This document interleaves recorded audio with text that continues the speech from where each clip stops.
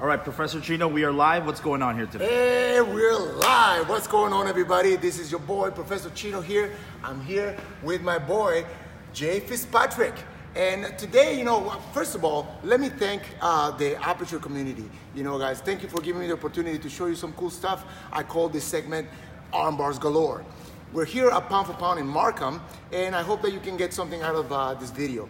What we wanted to talk to today was obviously about arm bars, and uh, the fact is, for this particular um, uh, segment, you're gonna need to have a little bit of knowledge about all the different positions. The basic four positions that you have in Jiu-Jitsu, back control, mount, side control, and guard. We're gonna be looking at armbar setups from all of these different positions. But first, let's talk about something very important. The important thing about attacks of any kind, not just for armbar, triangle, or omoplata, is the movement of your hips you need to be able to move from that linear attack from your opponent to get your hips offside and to get your, ball, your legs involved into the movement of setting up your attack. For instance, one of the movements that I like to do is actually to free up my hips. I like to go here and here, here and here. If you notice my hips keep changing here, here and here. I do this as a warm up and then I got into a transition with my partner. Please pay attention to my hips, okay? All I'm doing is switching my hips, switching my hips, switching my hips, side to side, side to side, side to side, side to side, side to side. And then from there, I go to a warm up. A warm up would be the six step arm bar. So I go here, I trap the wrist, I trap the tricep, I bring down all the way over and across. Now I don't need this hand. I'm gonna use this hand to break his posture here. And then I'm gonna put my foot on his hip. Now this is very important. You see this foot? I don't just wanna put it on top of his back. I wanna shoot it right into his armpit here. And here's a little detail that has helped me break the posture. I actually grab my shin. And from there, I switch my leg to the other side, and boom, I go there me having my foot so deep into his armpit allows me also to, if he be, were to begin to defend this armbar and here like this, he could stab me or all kinds of stuff, right? The good thing about having this foot so tight into his armpit is I can actually throw him over to his head. And now I have my sweep and I can continue with my armbar, I can drop the leg, I can do all that type of stuff inevitably what's going to happen is that you're going to do that a bunch of times. So you do it a bunch of times, your partner does it a bunch of times. Inevitably, you will start working on that defense, okay? And what you need is an arm to be able to armbar it. So he says, I don't want you to break my arm. So he takes his arm out. Let's look at, at one of my favorite arm bars from in there. So now I'm here, dropping the arm, breaking the posture, getting my angle, and when I go here, I went too wide. So he takes his arm out. Oh, I lost the arm. No more arm bar. Well, there's still something out there. This is the arm right here. So watch what I'm gonna do. I'm gonna raise my hips, bring his arm across. Okay? And now watch. I'm gonna pivot at his hip, and I'm gonna hook the back of his neck with my other foot. Here. You notice my hips came to this side already. And now I'm gonna be looking to move my leg onto the other side here and now I can finish the armbar from here, but the same scenario applies. I can also throw him towards his head. And now I have the armbar in here. Let's take a look at that again. So I go a little slower so you can see all the different beats. So I'm gonna go here, trap the arm, break the posture, pivot, and I'm here, I trap. And then look, when I switch, boom, his arm comes out, no problem. Trap the tricep, bring the arm to the other side pivot, hook the back of his neck, switch to the other side, finish here one, or throw him towards his head.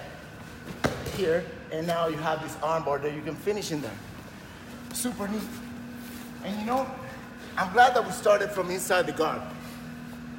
Because Jay does a really, really creative armbar, and I actually really, really like it. And actually, it's one of the ones that I teach to my more advanced kids class. I run a kids program as well, very successful. We've been racking up the points in the local competition circuit. I also show it to my adults. Adults is a different vibe, of course, but we do have a successful program with them as well. But this armbar, legit. Let's see it. Check it out.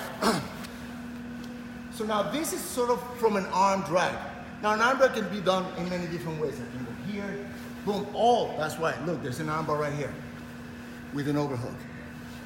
So if you can trap the arm here, here, sit up, grab, and look, boom, pull your arm out. You can't, right? And now you just gotta do is throw your leg over to the other side. Same scenario applies. You can finish the armbar from here because you have it overhook. By the way, the deepest armbar you're gonna get is from an overhook. But the same scenario applies. You can still throw him towards his head. And you can still finish it. You can see how tight this is. Look at his hand over there like this. It's already tight.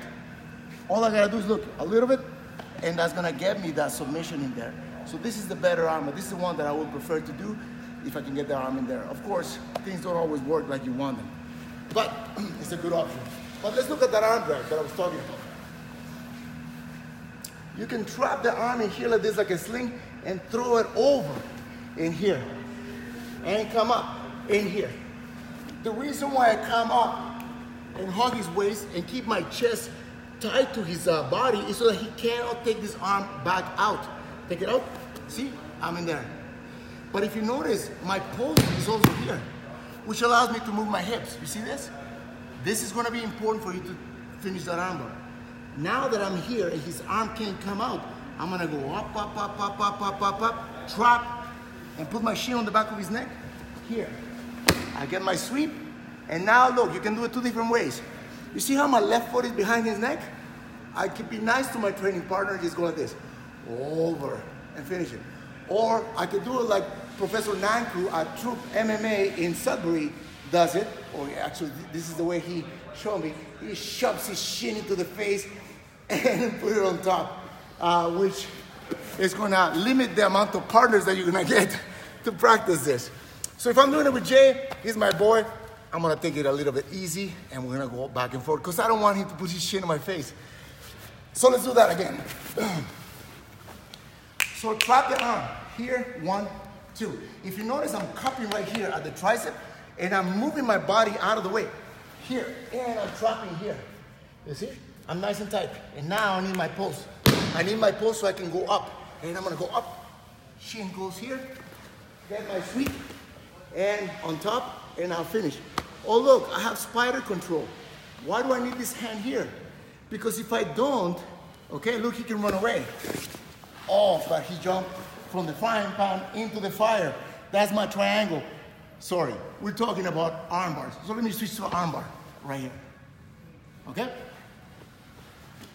So it's a nice little transition that you can have, um, especially from inside the guard. You know, often enough, you think of positions and you think, oh no, I'm on my back, he's inside my guard. I need to sweep. That's a very valid point. Don't forget though, if you and I are playing soccer and all I'm doing is defense, defense, defense, I'm never gonna be able to score a goal. So I need to attack. My defense and my offense have to go hand in hand. I can't just be like defense, defense, defense, right?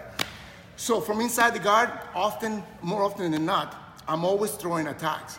And from my attacks, I create a response, also known as the read. The read is I do this, you do that. And while you're doing that, I'm gonna catch you with this, right? So it's sort of like, you, you look at techniques, right? There's armbar, triangle, omoplata, sweep, whatever it may be. In between all these different techniques, there's a conversation happening. There's a movement of the body. Is that I am doing this while you're doing that. And I'm eliciting these responses. That's the read. That's one of the most important things that you should be paying attention. While I do this, what is he doing? Okay? And if my attack is so linear that I don't have options, then if it doesn't work the first time, it's just not gonna work, right? So let's show um, another uh, another attack then from a different position. 100%. So let's look at this other position. So now we looked at inside the guard. Let's look at it from passing the guard. Now he's on the bottom, right? Now often enough, look, I'm gonna do a next pass. Let's see. Look, I get control of his lapel, I get control of his knee, and I go to knee on belly. So now I'm here on knee on belly, right? Obviously, his defense is gonna be to like, you know, block my pass, hip out, get his guard back somehow, right?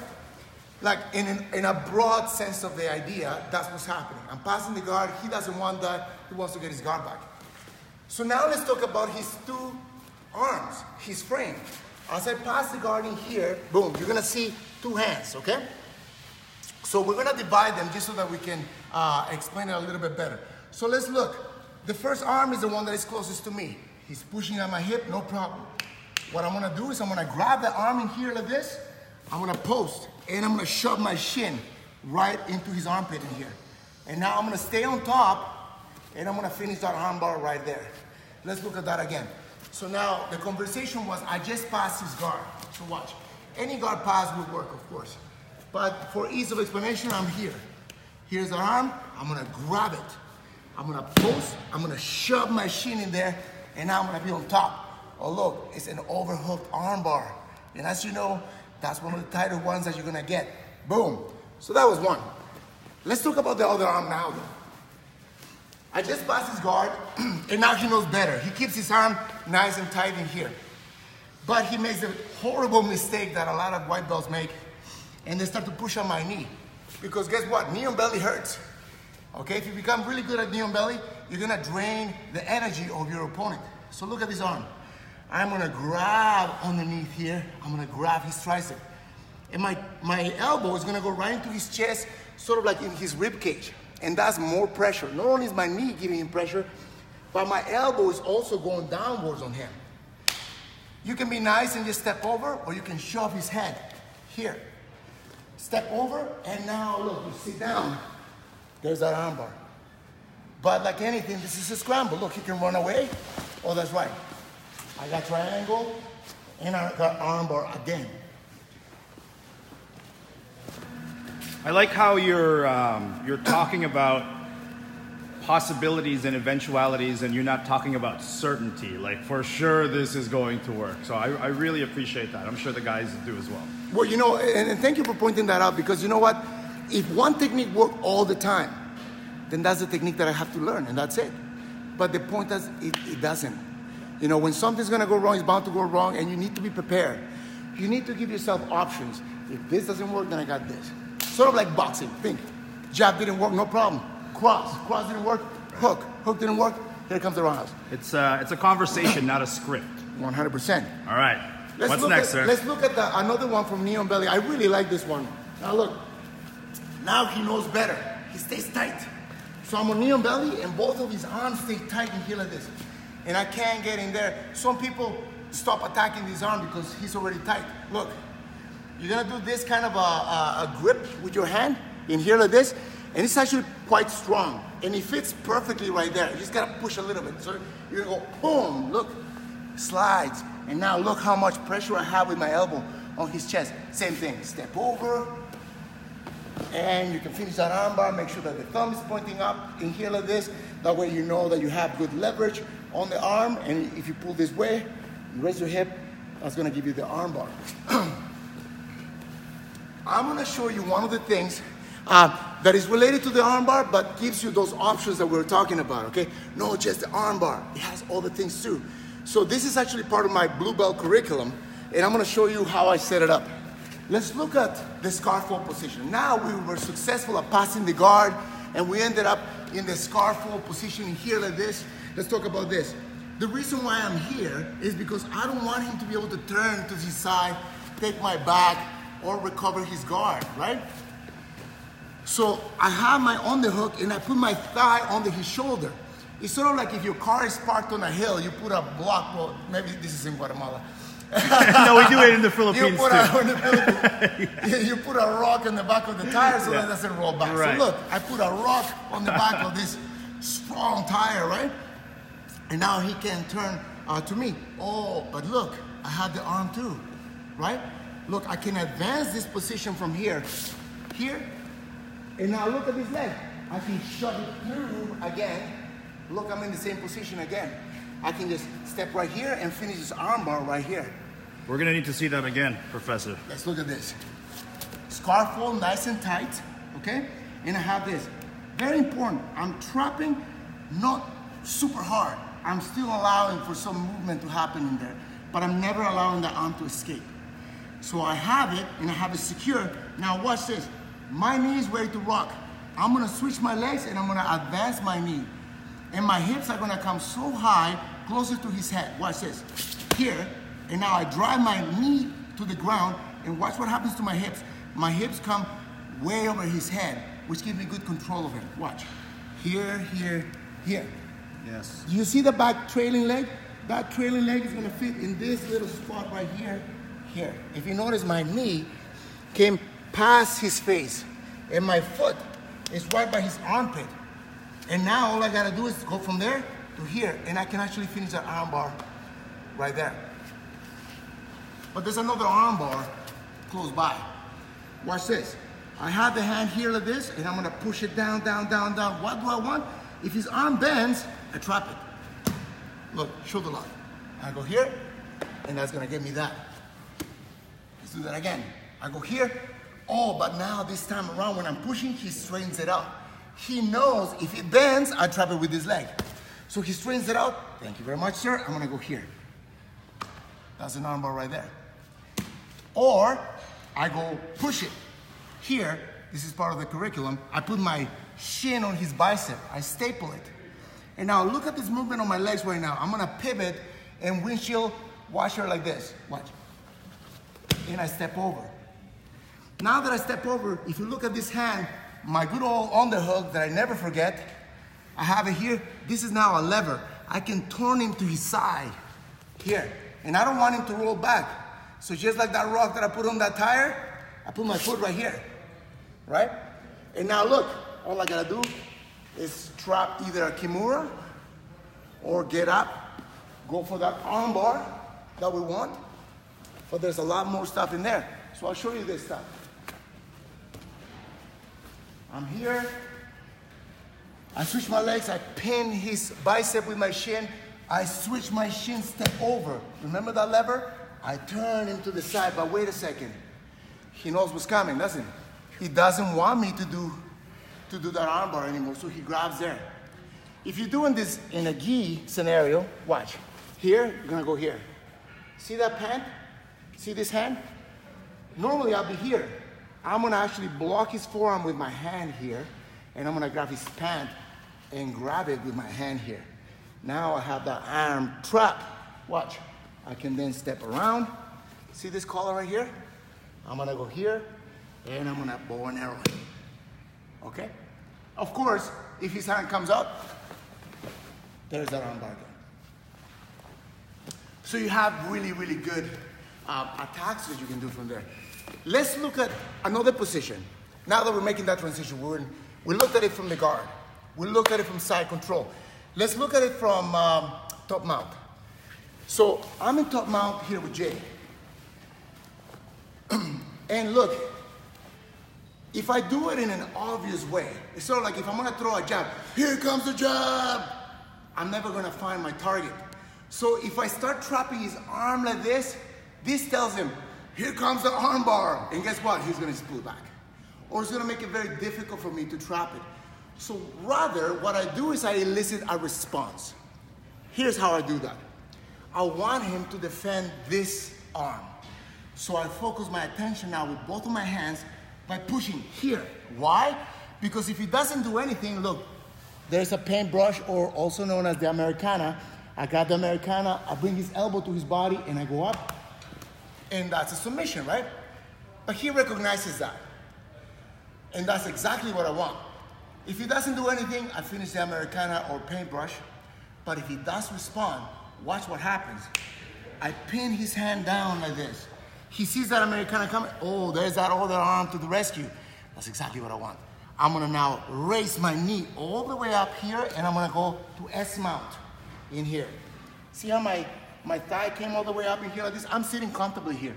I'm sitting actually on the side of my thigh, on his body. And I'm leaning on him to drain his energy. But now I'm here, right? I'm no longer attacking the bottom arm, I'm attacking this arm. And so now watch. What I do is I always like to finish this arm bar on the top. So I keep the pressure on him. I hook inside here, I post, and I go here, look. And now I pull. And when I pull, I'm not pulling at the elbow. This is a mistake that I see everybody doing. They keep pulling at the arm bar at the elbow. you're not gonna straighten out anything in there. See, nothing. You gotta pull at the wrist. And that's what actually extends the arm and allows you to finish that armbar. Let's look at that again. So I go, I push down, boom, in here. He goes to defend here, right? I put my knee way up there, and look, my foot comes in, in, in, in, in, and I go into S mount. Now I'm nice, comfortably seated in here. I focus on this arm. I'm gonna hook that arm. I'm gonna pose forward here because that continues my pressure with my body on him. I step over here, and now look, I pull and extend my hips, and that's gonna give me that arm bar. Okay? So it's a really, really neat one. You know what? Jay does a little, uh, a little uh, uh, adjustment actually. Uh, Jay's really, really good at this uh, movement. Let's go back to side control for a second, okay? Because you know I forgot to mention this to you, and I think you'll find this little detail very, very useful because it's a very intelligent read, much like this was, where you attack one thing so that they can defend, and then you switch to the next thing. So Jay, show them, show them that little detail that you do um, from side control to trap the arm. So, so pins the arm, he switches to the other side, boom, and he finishes that armbar, right? Finish the armbar, there you go, right? And fall back, there you go, boom. What I'm talking about is him trapping this arm. So now I can't reach my arm. Let's do that again, Jeff. You want to explain what's happening there, yet, uh, Jeff? So once I set up the um, Kimura, I set up the Kimura grip. He's defending the Kimura. I see that, so I'm switching so he can't roll back. Have the back. What I'm doing is baiting the leg around and trapping under the armpit so now he can't move. So I still have the Kimura grip for the armbar. Fall back, switch, finish. So baiting his leg on the front, forcing me to go up there to try to grab, actually works against me because he steps over and now he traps my arm, separating my arm from a potential defense. And we'll talk about defense after. Right now, we're just getting different arm bars from different positions, going from guard, side control, from mount. Now, we've shown you a couple of them from the different positions there, but we haven't gotten to the back control yet. Now, I really like, obviously, back. If you get somebody's back, well, you should be able to finish them. Whether it's a triangle, whether it's a, a, a rear naked choke, a bow and arrow, a traditional choke, all of those different things, especially with the gi. Now, we're in April, of course.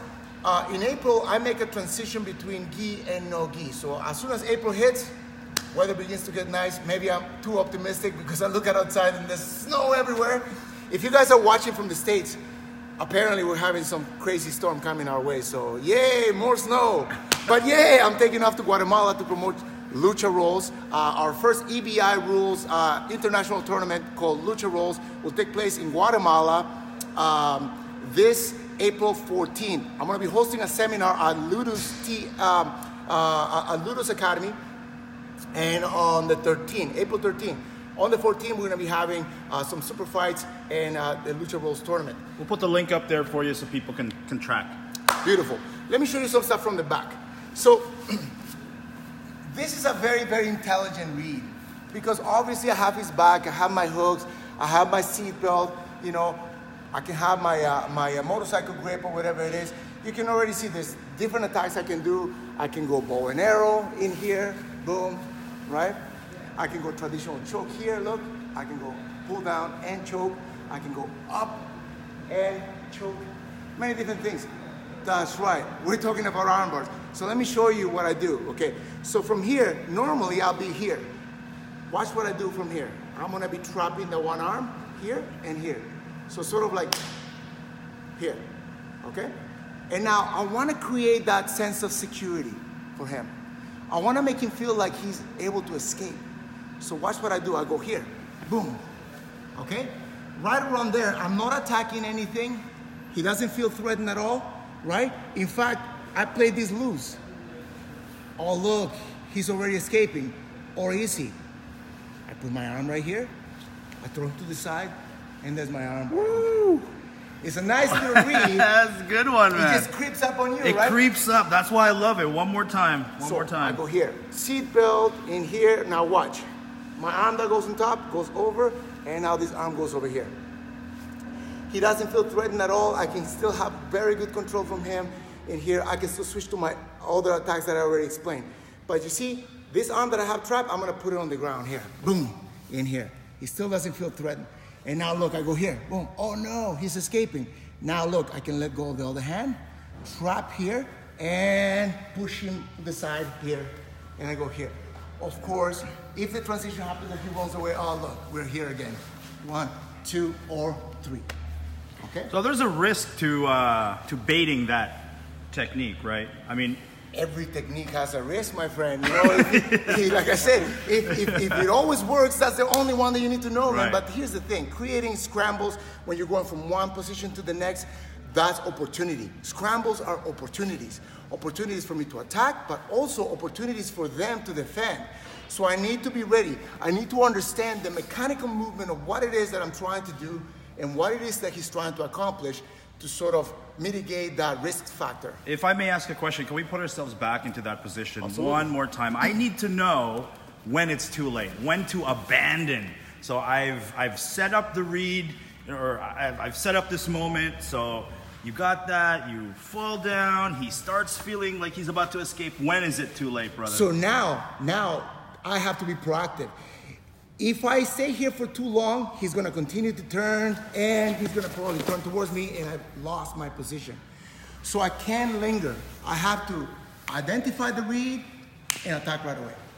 So I have to set it up here and I'm here, boom. As soon as I get here, as soon as his head pops up, boom, there goes my leg.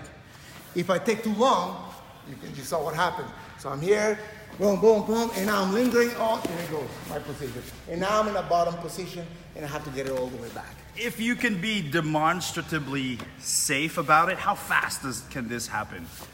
Oh, this is uh, actually, this is awesome. Please be. you know, actually, um, you know, in, in, um, in jiu-jitsu, things happen very, very fast, of course. If I'm gonna go for that technique, I'm going here. Look, right away, I'm going here. If you notice, I let go of his head right away, and right away, I'm going here. So it actually happens at this speed. I go one, two, hit, hit, boom, in there. Wow. So it's like, bam, you gotta really trap it like that. You know, the way that I learned this um, was, was a little bit uh, more, there was less explanation, so I, I knew what the move looked like, but I didn't understand the read. This is a nice read for you guys to consider and to go try. This is how I originally learned uh, that read. I learned about, okay, well, I have my seatbelt, which you should always have if you're controlling back. Oh, look, I have this arm. So all I learned was push his head to the other side. That's how I learned it. Right. But, and that's a valid move. But the problem is, I'm not fully understanding the read. I'm not fully understanding how can I get him to do what I want him to do, like without him even realizing what's happening, you know what I mean? And I think that that is the transition between basic jiu-jitsu I'm a white belt. This is my first day. What the an armbar looks like? Oh, make the arm go the wrong way, right? But as you progress in jiu-jitsu, you start saying, okay, well, I understand all that.